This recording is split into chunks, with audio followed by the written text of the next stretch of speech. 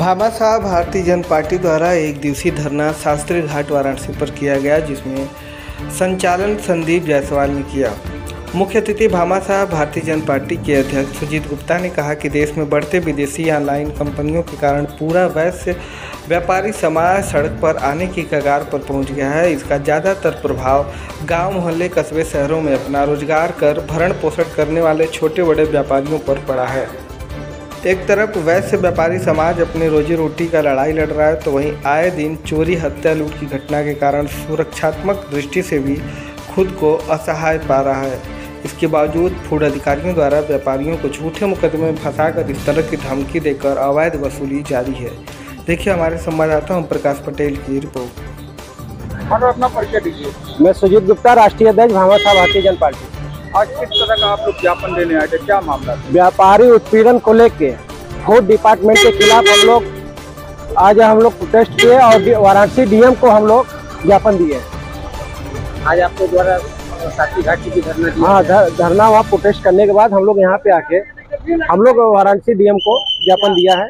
Food क्या मांग है? मांग ये है कि फ़ूड डिपार्टमेंट के जो बड़ा गाँव क्षेत्र के अधिकारी हैं उनके द्वारा व्यापारियों के साथ उत्पीड़न किया जा रहा है अवैध वसूली किया जा रहा है। उस उनकी बर्खास्त की मांग को लेकर हम लोग वाराणसी डीएम को ज्ञापन दिया है। तो इसकी शिकायत आप लोगों ने कहीं अधिकारी वगैरह की? शिकायत शिकायत क्या करना? अभी रंगे हाथों हम लोग उनको बाज़ार में व्यापारियों से पैसा वसूलते हुए हमने पकड़ा मैं खुद पकड़ा। और उसके बाद उनको बोला गया कि अगर आप व्यापारियों को परेशान करना बंद कर दीजिए। अन्यथा हम दूसरे तरीके से हम आपसे बात करेंगे। अगर अगर मान लीजिए ये कार्रवाई उनकी जारी रहती है और हरकतें जारी रहती है आगे क्या करेंगे? आगे हम लोग बहुत बड़ा प्रोटेस्ट करेंगे। बाजारों को बंद कराकर विरोध करने का काम करेंगे। पहले बाजारों को क्षेत्रीय बाजारों को बंद कराएँगे फिर उसके ज़िले के बाजारों को बंद कराएँगे फिर दूसरे ज़िले को बाजारों को भामाशाह भारतीय जनता पार्टी के माध्यम से बंद करा के बहुत ज़बरदस्त विरोध करने का काम करेंगे हम लोग। जी जी जी। आप कुछ पूछ रहे हैं।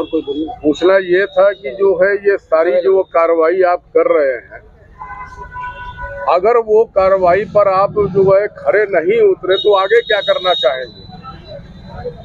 आप शासन प्रशासन की बात कर रहे हैं कि अगर वो कार्रवाई नहीं करते मैंने पहले बता दिया ये ये विरोध अलग अलग तरीकों से हमारा जारी रहेगा। जैसे कि क्षेत्रीय बाजारों को बंद करा देना बाज़ार बंद करके विरोध कराना फिर उसके बाद ज़िले के बाजारों को बंद कराना, धरना प्रदर्शन, भाई, हड़ताल, हम लोग का मेन हथियार है। आज की सरकार, आज की मौजूदा जो भाजपा सरकार है, कहीं न कहीं व्यापारियों के प्रति उसका रवैया बहुत तानाशाही वाला रहा है। जीएसटी के नाम पे उत्पीड़न सेल टैक्स के नाम पे उत्पीड़न बाट माप के नाम पे उत्पीड़न, और आपका फ़ूड डिपार्टमेंट के अधिकारियों द्वारा उत्पीड़न, व्यापारियों को चारों तरफ़ से उत्पीड़न हो रहा है।